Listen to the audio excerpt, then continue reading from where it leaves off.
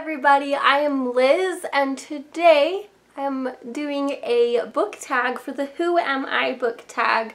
This was brought to my attention at the beginning of July by My Name is Marines.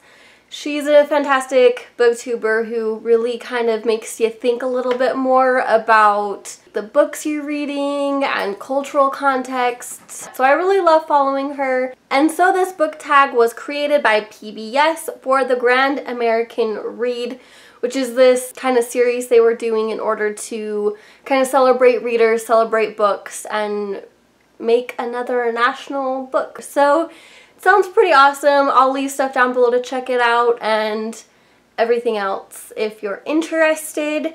So let's jump straight into the questions with the first one being if your life were a book genre, what would it be?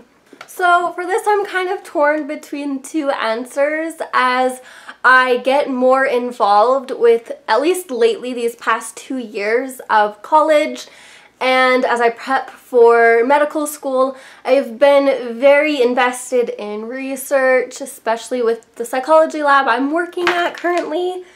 And so I have a book here, Man Interrupted by Philip Zimbardo and Nikita Coulombe. This is a very intensive research type book because I always think that my life is beginning to turn into kind of a research journal or a medical journal about all of these things I'm learning.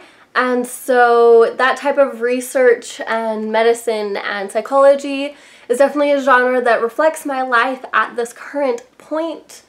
And this one is facing a lot of the kind of social constraints and the social issues involving men. And then we have kind of more the reality of things, kind of a contemporary about finding myself, finding my inner courage. And so I felt like between Georgia by Joshilyn Jackson, she's kind of this go with the flow, like almost I don't want to make my own decisions type of a person until the very end of the book where she realizes that she really has to make her own decisions. And I'm at that very pivotal point right now where I have to make my own decisions as I apply to medical school and it is intense and scary and so I can definitely reflect and feel with those like contemporary vibes about finding yourself and finding your courage. So the next question is what villain from a book do you identify with the most? So to answer this question, I can't get really into the plot and everything, but definitely a villain I very much uh, sympathize with and I identify with are the Woods in Uprooted by Naomi Novik. Now I know that sounds weird because woods are kind of inanimate the and everything like that, but these woods have a personality and a backstory and a lot of tragic things that kind of led to them being the way they are and turning things evil and polluting uh, civilization and everything like that. And so I definitely, definitely see myself in there and how, um, and, and I guess all of that. It's, it's really hard to explain without giving anything away. Next is what protagonist am I most similar to? And this one, as you guys know, my thoughts and feelings about Leah from Leah and the Offbeat by Becky Albertalli. I am very, very much like her. At least I was when I was younger. I definitely felt like she was my mini-me. But more recently, I have read Stalking Jack the Ripper by Kerri Maniscalco and Audrey Rose, her inquisitive mind, her need to kind of solve the questions and how involved she is with science. She wants to be a mortician or a medical examiner. That's what she really wants to strive to be, even though it's very taboo. And she really wants to prove to her uncle, who is a medical examiner, that she can do this. And that like fire and everything about her just really resonates with me and why I want to go to medical school to be a doctor. The next question is which book did you connect with in the past that you no longer do? And I could do the obvious answers the ones that I read as a teenager that had very problematic relationships. You know what I'm talking about. But I'm gonna dig very, very deep into my past, and that is Matilda by Roald Dahl. I absolutely loved this story. I was obsessed with the movie growing up, and I just, I absolutely adored it. And then I reread it last year for the Summer Biannual Bibliothon slash Booktubeathon, and was crushed. This book completely removed all the whimsical happiness that I had with the movie because everybody's motivations were very different and just it was not the carefree happy um, story of my childhood. And that was very sad and I am a bit heartbroken. So the next question is what recent book read would you love to be a character in? And so with that one, I have the Mistborn series, particularly that secondary four books that happen after the original trilogy because I love the Wild West meets kind of that Victorian era culture with the alchemy it sounds just so much up my alley. Um, when I was younger, I also really enjoyed like Wild West type movies and kind of how rough it could be,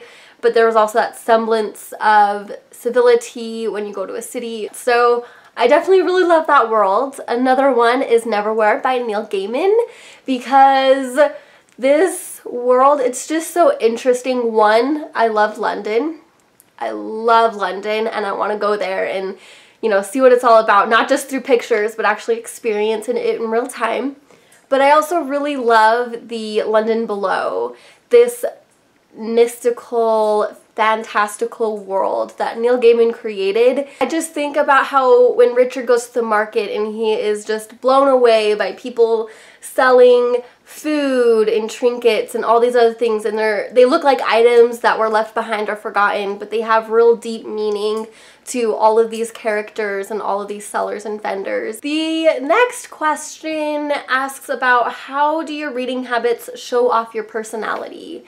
And I I don't I'm not quite sure. I feel that my reading habits I they're very varied. I read a little bit of everything and so it shows that I'm very flexible and I'm prone to learning about new things, new ideas, whether it be some interesting, fantastical, magical scenario or mythology, or I really want to dive into some type of um, science where you're in space and they're trying to jerry rig a spaceship to work or a beacon so that they can be picked up, or uh, like Stalking Jack the Ripper, 1800s medical terminology and how they really like went about being a medical examiner and discovering the who done it, the how do we solve a murder and everything like that. It's just well that's what's so nice about reading and trying to branch out and not really reading the same thing over and over again like being in fantasy